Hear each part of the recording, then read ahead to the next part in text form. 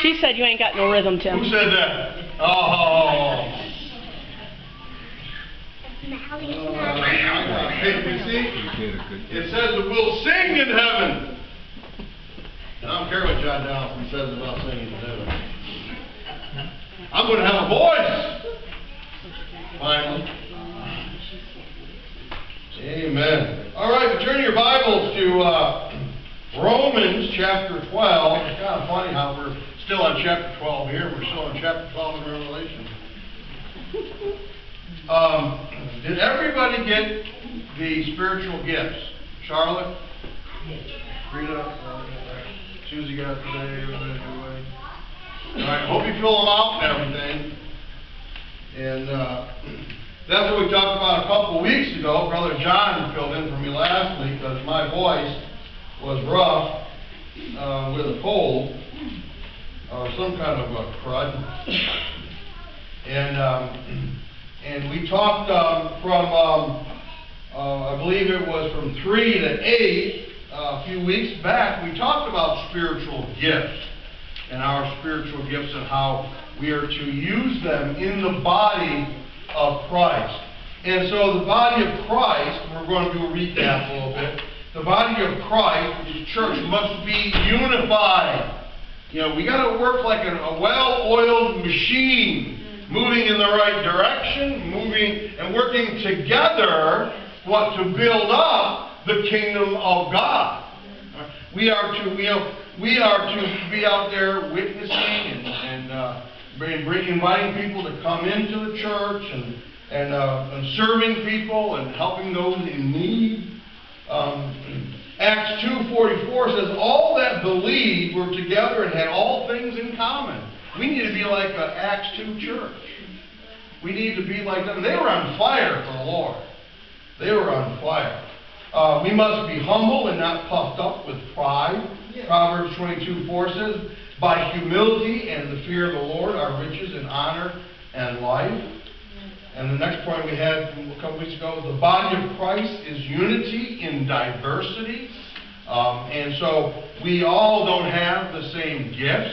Uh, we take we take that spiritual gifts, uh, you know, and we need to use our spiritual gifts to edify the body of Christ. We don't all have the same gifts. It's just like football players. There's like 53 um, uh, uh, football players on a roster, you know, especially at the Super Bowl a few weeks back.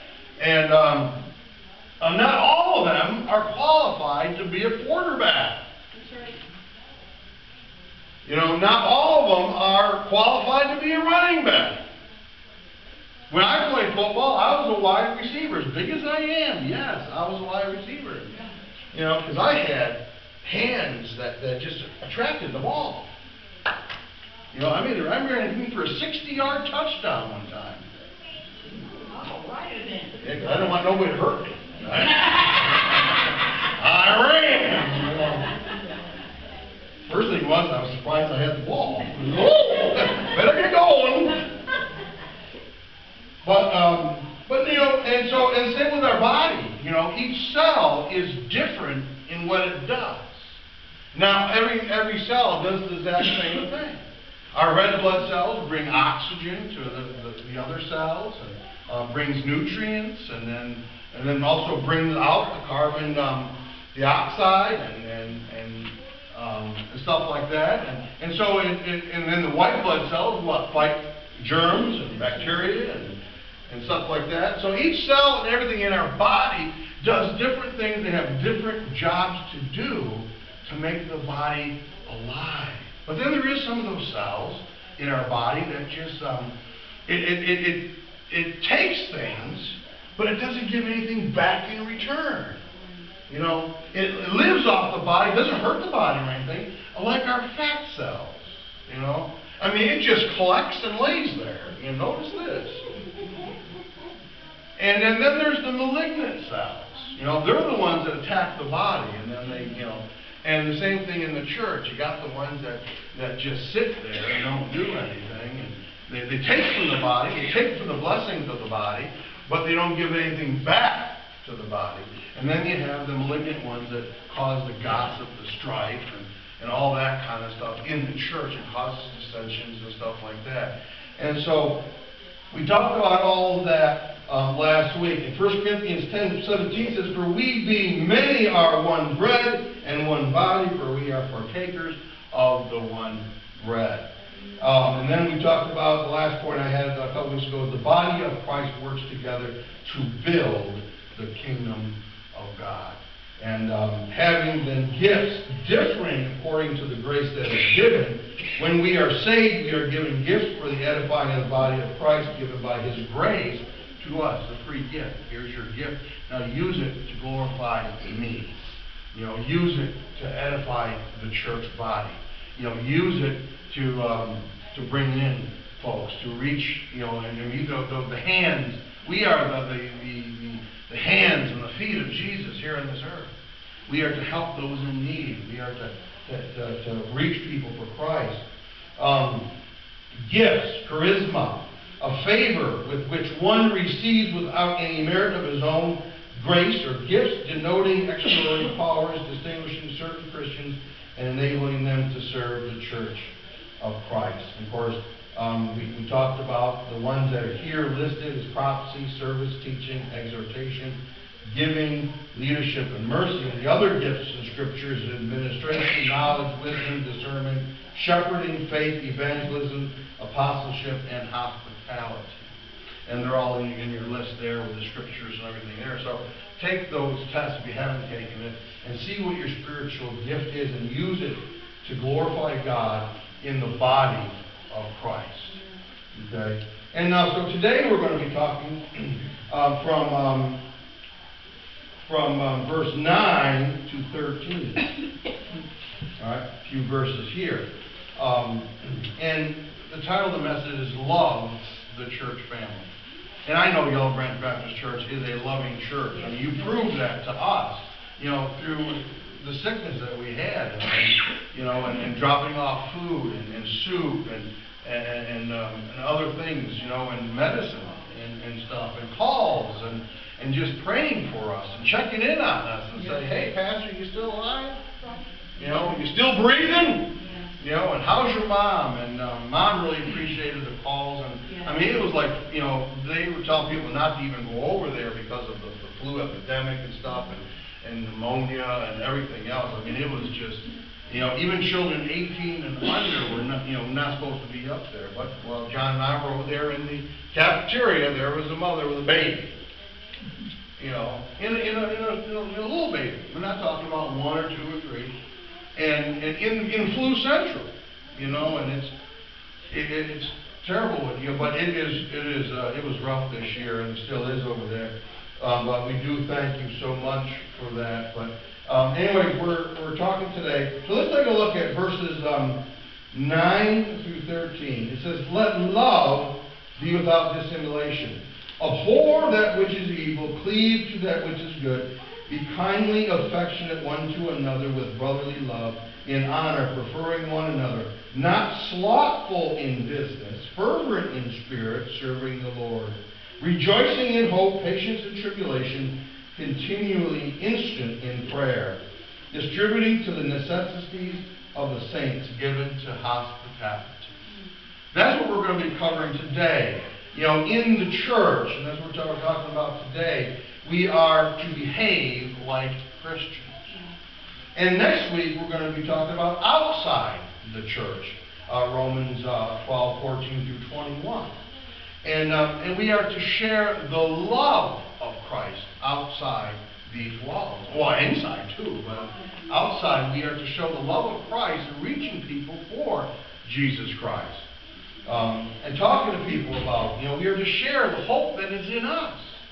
You know, and, and you know, there's so many uh, that are lost, and so many are hurting, and so many don't know where to turn to, don't know where to look. You know, they have no hope. Their hope is in their Xbox. Their hope is in their car, their their their, their house, their money. But you know that can be taken away just like that. One fire can take away your house. Boom. Yeah. You know, we are not to hold on to material things. And our cars can let us down too, and it has many times, you know. Driving down the road, all of a sudden, poof, there goes your tire. You know, there you are off the side of the road. You know, and, oh, by the way, honey, uh, we need an oil change. Well, I was going to get your two dollars and ten cent paper. You know what, that got, a Sunday paper, two dollars and ten cents, almost floored me. Lady says, two dollars and ten cents, I said, huh? What happened to seventy-five cents? That's a Sunday paper, right? Twenty-five cents for a normal paper, right? Where have I been? Good question. Sheesh. Yeah. But we are to love like Jesus. Charles Spurgeon says this How sweet it is to the Savior's love when nobody else loves us.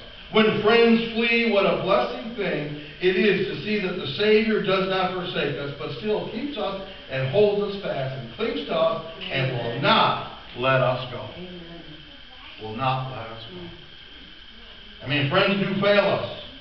And, uh, you know, even uh, companies fail us. You know, we put all of our life work into it and everything, and then when it's time to retire, they give you the good boot. You know, a lot of Christian places do that too, don't they? They have no, no cares about the people or whatever it is. I'm sad to say, but they give you the boot. But anyways, Jesus commanded us to love like He loves us. John 13, 34, 35 says, A new commandment I give unto you, that ye love one another as I have loved you, that ye also love one another. You know? And by this, what? They will know that you are my disciples if you love one another. They will know that you are my disciples. It is love that sh- you know, true love, agape love, that shows that we are truly Christ's. That we are truly Christ. So we are to love the church family. And so the first point, I only got a couple points today, but the first point is love each other with a pure, sincere love. Agape love. You know, because it says, let love be without dissimulation. Well, agape love is that true sacrificial love that Christ had for us. Even that He demonstrated His own love towards us, that while we were yet sinners, Christ died for us.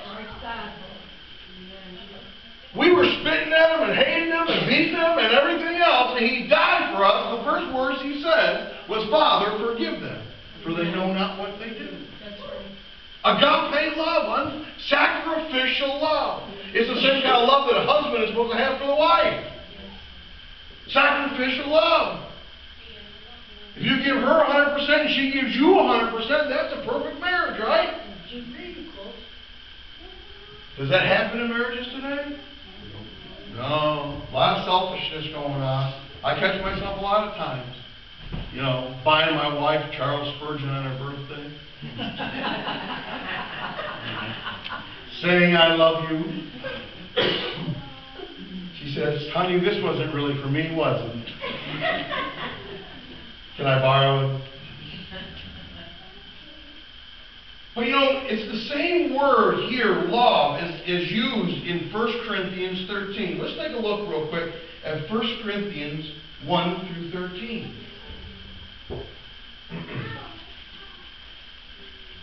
And a lot of people use this in marriages because it is called the love chapter.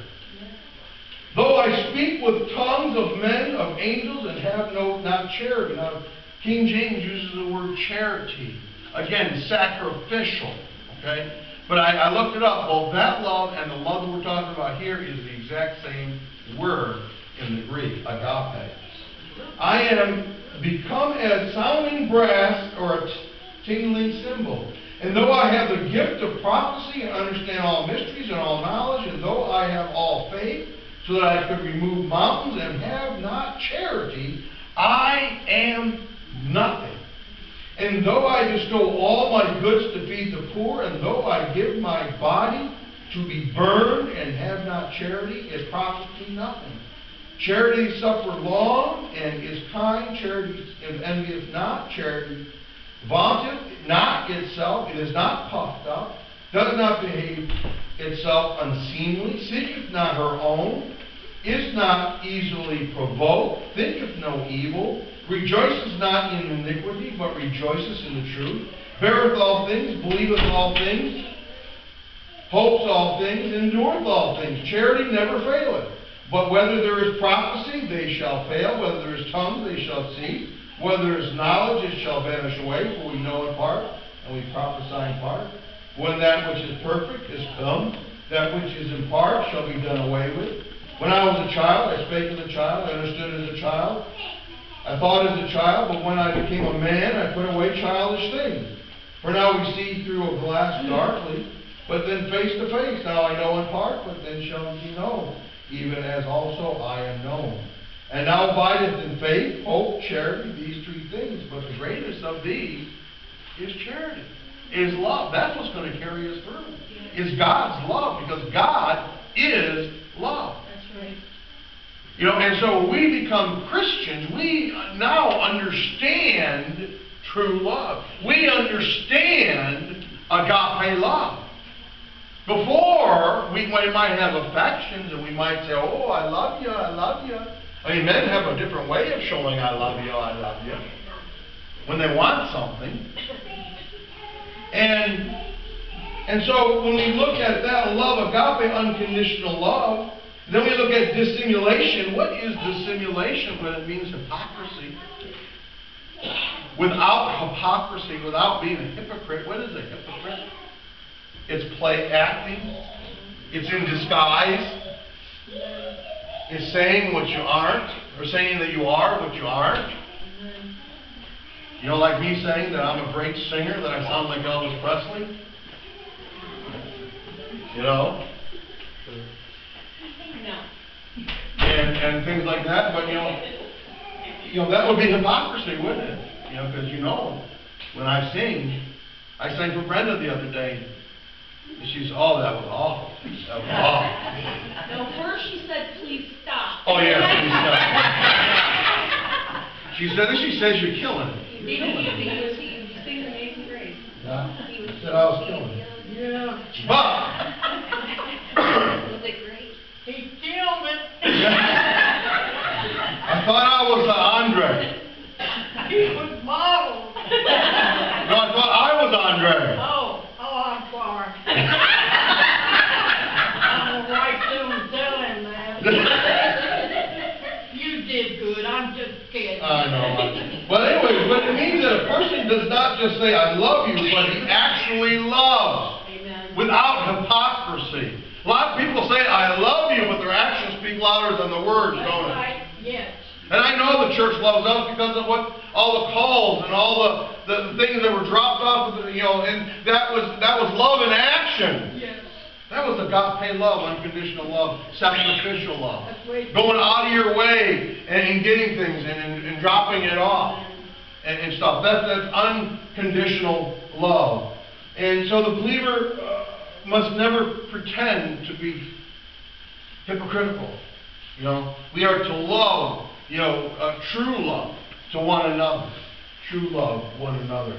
Without any impure um, gains or motives behind that love. I mean, our children are famous for that, aren't they? Oh, I, they call you up after six months and say, "Hey, mom. Hey, dad. I love you." Oh, by the way, do you happen to have 600 bucks I can borrow? Where were you four months ago? You know? And so a lot of times when we say, I love you, I love you, you know, a lot of times it's just words, some people say. That's right. But, but we need to true, because love is action. Love is agape. Love is unconditional love. God's love. Um, 1 Peter 4 8 says, Above all things, have fervent love for one another, for love will cover a multitude of sins. A multitude of. John 15 12 and 13 says, This is my commandment, that you love one another as I have loved you. Greater love has no man than this, than to lay down one's life for his friends. That is true love, is giving yourself to someone else. You know, total sacrificial love. And we, I always use that in, in wedding counseling. And those who've heard it, you know, we, we talk about the different types of love. There's the phileo love, the more friendly love. There's the eros love, which a lot of men have that. That's your, that's where you get the erotic from, eros, you know. It's the looks and the wow, wow, wow, wow, wow, you know. Like the cartoon with the tongue rolls down, rolls back, yeah, boing, boing, boing, the eyeballs, you know. That's the erotic love, eros love. A lot of teenagers today have that type of love in the backseat of cars and all this and that. But, you know, and then when the woman really needs them because of something else happens, then what do they do? They run, they bail. They got what they wanted, and they left. And they left. That's ero- eros love. But agape love is true love, uh, unconditional love. And it says to abhor that which is evil. What does it mean to abhor? Abhor. It it is to detest, to hate, to loathe. It's the horror of it. To, you know, to hate. We are to hate sin. So many people roll around in it today. We are to, to hate the dirty jokes, the filthy stuff, Yes. the things that are on TV and the things that are on, you know, I mean, you know, uh, TV is saturated, the commercials especially, is saturated Yes, it is. with heroes. You know what I mean? You know what I mean? Yes, it is. You know, we know that that a girl in a, in a beautiful bikini and everything doesn't come with a 12 thing of donuts. Or the biker magazines, or the cars, right? How many of you look at car magazines? Is there a guy there standing there holding the car? What is, what is there?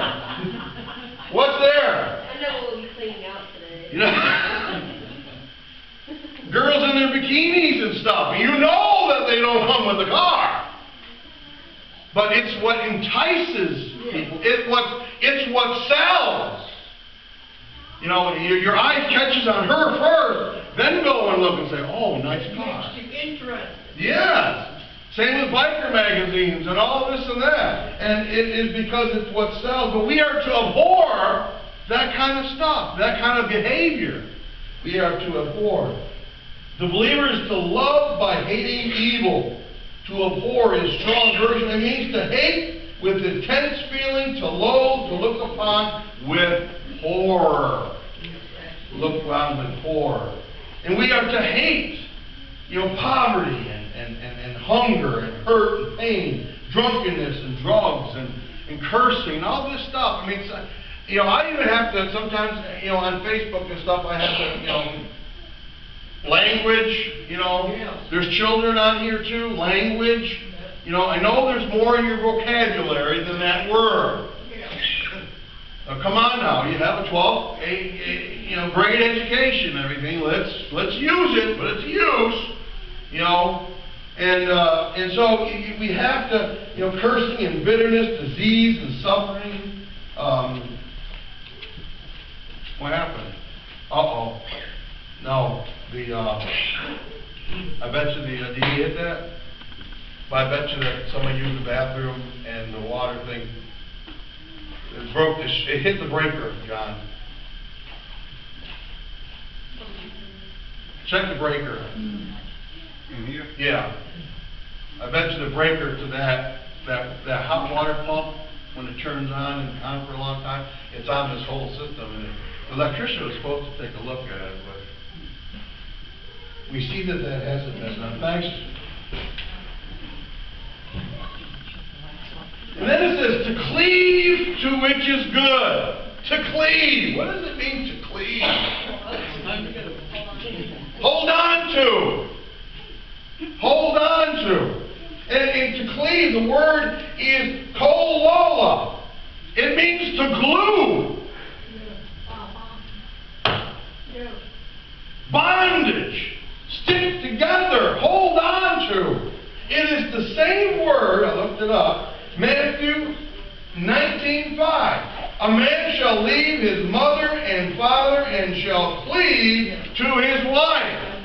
It means to be glued together. Stuck. And we are to cleave to which is that good. to abhor evil, but to cleave, to cling to, to hold on to, which is good. And, and, um, where am I? Oh, yeah. And then it says, abstain from all uh, appearances of, or we are to abstain from all appearances of evil. 1 Thessalonians 5.22. He is to cleave to good and to work for everyone to know and experience the good. And so we are, and it says we are to be kindly and affectionate to one another in brotherly love. Brotherly love. And so um, we are to cleave to that which is good, be kindly and affectionate to one another in brotherly love. And we are to love each other by being kind and affectionate to one another. And I know Yellow Branch is like that.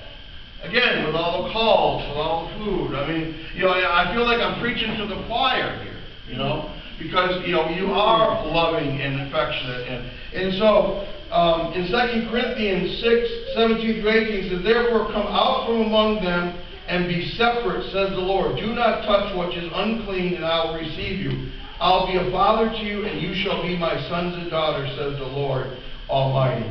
You know, so we are, uh, you know, brotherly love. We are brothers and sisters in Christ. We are adopted brothers, we are adopted children of God. Remember, back to the tree again.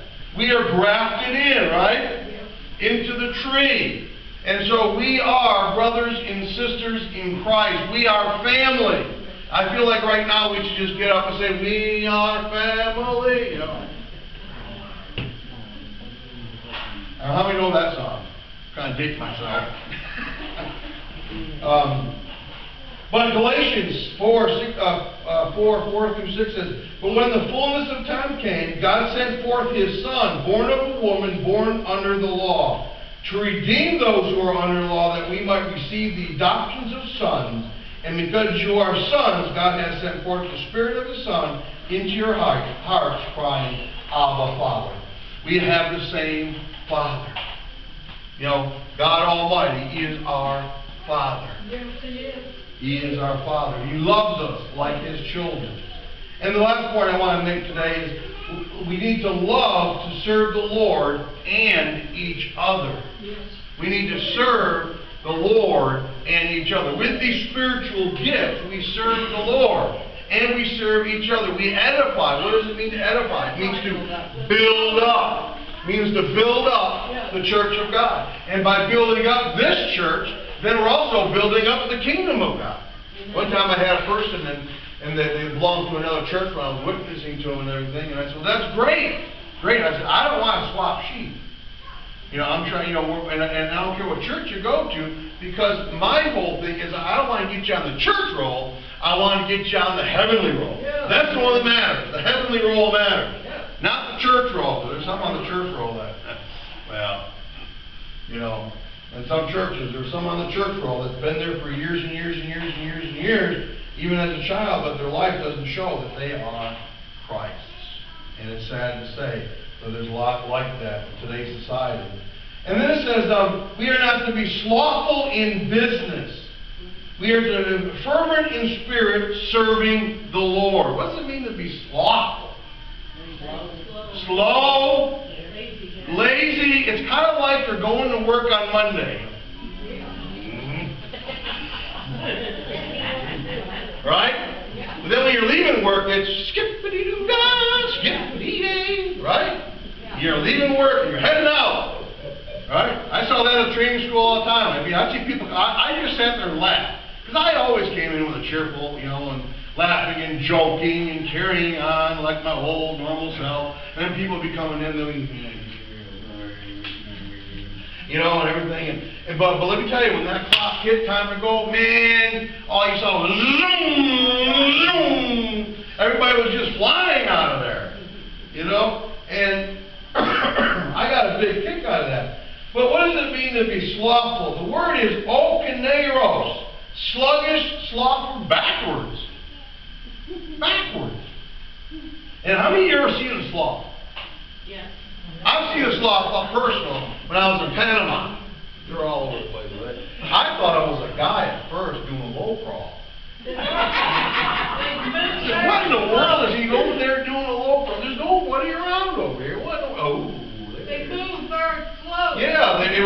was, but he on, you know, like this. Yeah. But it looked like a guy doing a low crawl from the, where I was sitting. I said, what in the world is he doing way out there doing a low crawl? But it was a sloth. That was my first uh, thing of a, you know, a. Business, and this went through me, business, spau, uh, spude. It means haste with haste, earnestness in accomplishing, promoting, or striving after anything to give all diligence, interest oneself most earnestly and eagerly. That's like if you own a business, your whole self is into that business, right? And your whole business is to what? make money, right? To sell and to and, and produce and whatever. But you put your whole self into it, and that's what it's saying here. You know that it, you you put your whole self. That's how we are to be with the Lord, putting our whole self into it. We are should, should not be slothful in business. That's right. I mean, we, we, we should be um, fervent, you know, and that's where the next word comes in, be fervent in spirit. The word fervent is uh, zeo, means to be hot, to boil, to set aflame. It's kind of like, reminds me of the old coal Remember the trains back in the day? You took the coal and you shoved it in the, the engines and everything, and got it real hot. And then the, the hotter it got, the faster the engine went, right? Right? And that's how we are to be. Hot, on fire, whoosh, flaming for the Lord.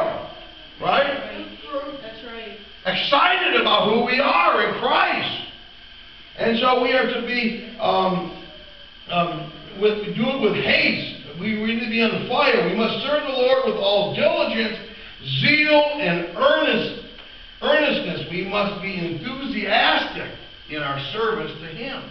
Enthusiastic, excited. Yippee! All right, y'all won a million dollars. Got one excited over there. All right, y'all get a million dollars. That's how we're supposed to be, right? Excited, eagerness, a fire for the Lord, serving Him diligently That's right. on fire for him. Uh, 1 Corinthians 4, 14, 12 says, Even so, since you are zealous for spiritual gifts, let it be for the edification of the church that you seek to excel. Yes. To excel. Serve the Lord. The idea is that we are to be focused upon the Lord in all that we do. And our jobs. We're serving the Lord. You know, we're treating people with respect and dignity, and when the time, you know, share the gospel with them. Um, and so, um, for uh, Colossians 3, 23, 24 says, And whatever you do, do it heartily, as to the Lord, and not to men, knowing that from the Lord you will receive the reward of the inheritance, for you serve the Lord Jesus Christ. Who do you serve? Jesus Christ, right? It's Him that we serve. It's Him that we live for. He died for us. He gave His life for us. Amen. And when we're saved, now we want to serve Him. Look at Billy Graham. All these years when he got saved, he got radically saved. God called him to be an evangelist. He tried the pastor bit, and that wasn't for him. And he went out and looked at the millions and millions and millions of people he reached Jesus for Jesus Christ. All over the country. He was breaking down the barrier of race and everything. He was he was in the fields fighting, you know, for Jesus Christ, witnessing. In some countries, I mean, even having a translator, he spoke and they translated their language. Yes. I don't know if I trust anybody like that. They could be saying something, something bad, you know. I'm saying something, they're saying something off the wall to get somebody mad at you. But, you know, it, but the Lord blessed it, and look at the millions that came to know Christ all throughout the whole world. Yes. I mean, he, you know, but now God's going to raise up. He called Billy home. Now he's going to raise up another to serve in his place until Christ comes back. Yes. I always thought um, Billy Graham would, you know, wouldn't die, but he'd just see the rapture, you know. But I was wrong. And then the um, other thing is that we, the believer, is to endure trials. Let's take a look here. Um, It says, rejoicing in hope, patience in tribulation, continuing instant in prayer. We are to rejoice in hope. What is our hope? What is Christ Jesus? We know who holds our tomorrows. We know that, you know, anything can go awry in our life. Anything can, you know, there could be circumstances that come up, but we have hope in Jesus Christ that He's going to see us through. And sometimes He pulls us out of that trial, but sometimes He lets us go through that trial. And when we go through that trial, we come out a better Christian Yes. and, and, and more mature Christian. And so the Lord is always there with us in our hope. We got to rejoice in that hope. The hope in Him. The hope in Him.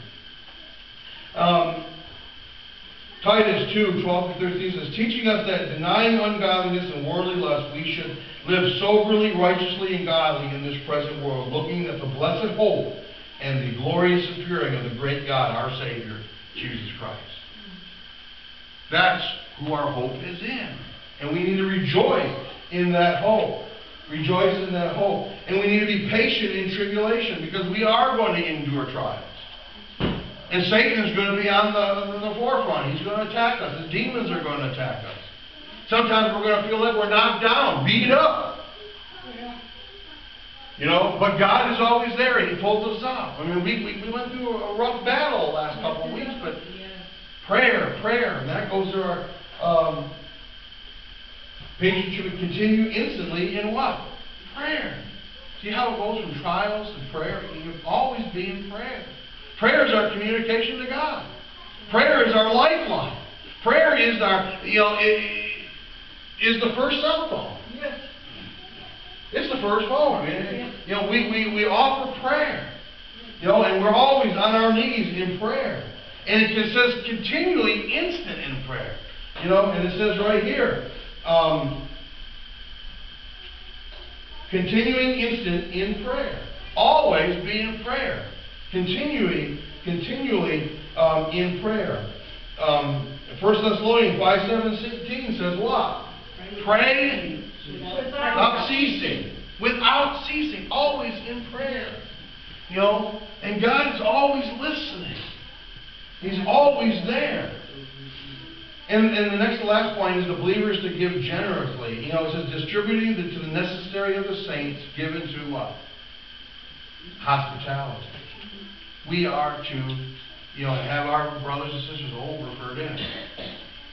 You know, given, you know, somebody, um, an- another brother or sister over in another country is coming over as a missionary, you open your house to them. Have them stay there for a while, you know. Opening our house to our brothers and sisters in Christ. Um, and we believers, all believers must open their doors, even to strangers in need. Uh, that's a scary situation in some, you know. I remember one time I was taking one, the Colonial Hotel was over there. I was taking a gentleman over there. And Of course, my wife, you know, she's a worry wart, and and, and uh, she says, you know, because he didn't look right and stuff, and and she was, you know, but I was trusting in God, you know, and I was going to take him over there. So I got my van, had my van at that time, and guy, he got in the van and everything and all of a sudden I heard the side door open and close. And I looked back there, and there was Nelson. I said, "What are you doing?" He says, "Mama D sent me over here to protect you." So I brought him over there. We, get- we, the church put him up in the hotel and everything, and, and but we are because you know by you know um, doing this, we could you be doing you know entertaining what angels. We never know. We never know. Um, um, be not forgetful to entertain strangers, for thereby some have entertained angels unaware. Hebrews 13, 12, uh, 2. All believers must use hospitality as a means of ministry and use it without grumbling. Grumbling. We, we, we as believers are not to just help the believers and unbelievers that come across our path, but to look for opportunities to help. Help those in need. Open our homes, open our cupboards, open our doors, you know, to them and to help them in need. And so, as we close here, we are to love each other with a pure, sincere love. And we are to love to serve the Lord and others. And if you are not saved, you do not know that what, uh, if you're not saved, you don't know what agape love is, that true sacrificial love that only Christ can give. Only Christ can give that sacrificial love. And so, you know, he, he came, he died, he was beaten for you and for me. He took our penalty upon himself. And if you don't know Christ, and you reject Jesus Christ, then you're going to have to pay your debt on your own, and that's in hell for eternity. And I ask you to come to Christ today. He loves you. He wants to save you. Peter tells us that he doesn't want none of us, you know, to perish, but come to repentance. To repent of your sins today and turn to Him, to Jesus Christ, and serve Him. It's a life worth living for the Savior. Yes. As we sing our last hymn, Rock of Ages. 342. I got it up here, uh-oh.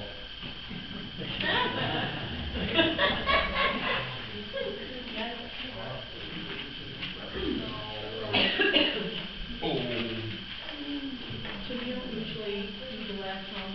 Yeah.